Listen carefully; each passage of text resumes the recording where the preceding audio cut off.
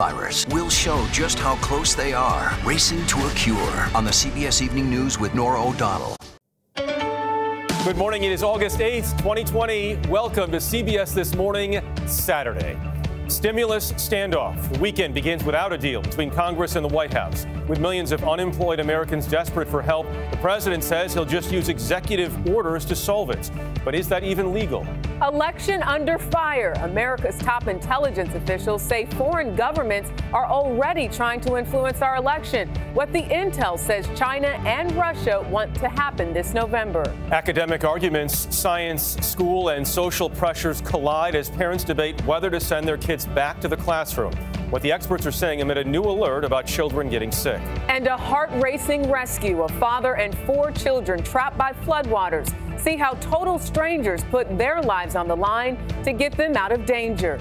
But first, we begin this morning with a look at today's eye opener Your World in 90 Seconds. This is a flood, economically and health wise, of biblical proportion, and our Republican friends are looking like they just want to fix a leaky faucet. With stimulus talks collapsing in Congress, President Trump says he is prepared to take executive action. If Democrats continue to hold this critical relief hostage, I will act under my authority as president to get Americans the relief they need. The U.S. has broken yet another unthinkable record.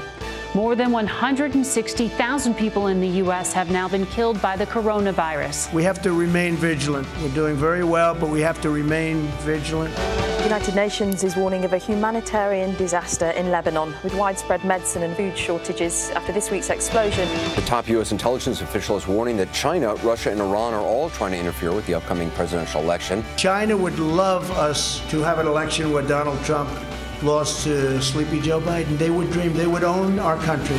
The deadly plane crash in India, the passenger jet skidding off the runway, breaking apart, trying to land in heavy rain. All that.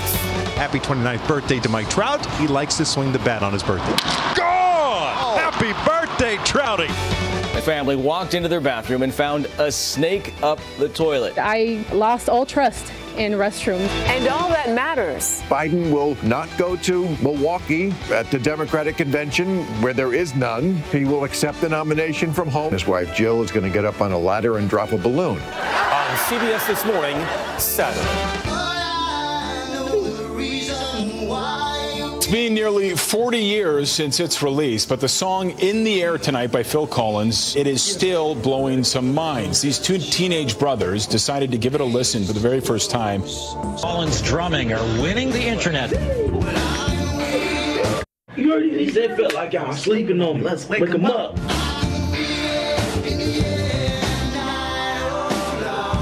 Phil Collins still has the power to mesmerize. He does. That, that woke me up. That was good. It was really good stuff. Welcome to the weekend, everyone. I'm Jeff Glor along with Jericka Duncan. Today, didn't see you for six months, and now it's every day. I know. It's great stuff, six days in a row. It's been great. Uh, Michelle Miller and Dana Jacobson are off. They will be back soon. We miss them.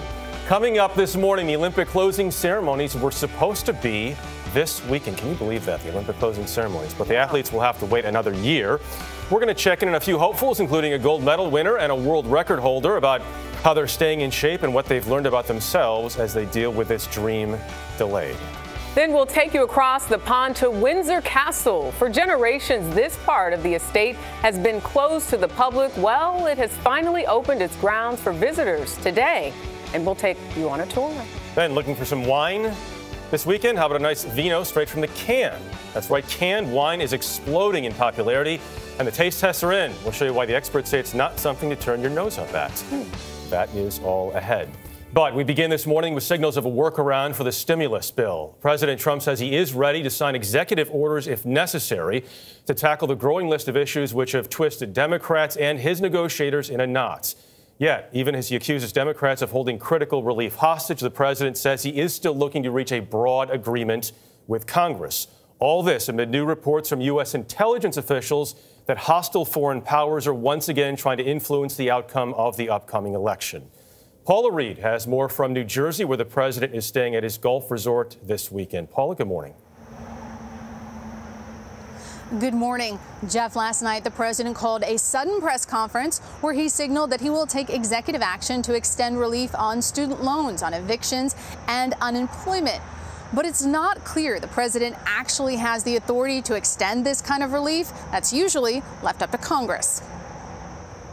President Trump summoned reporters to his New Jersey golf club late Friday.